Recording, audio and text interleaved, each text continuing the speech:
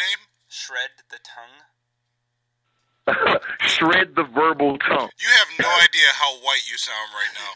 I know Hannibal. Come on, man, black it up.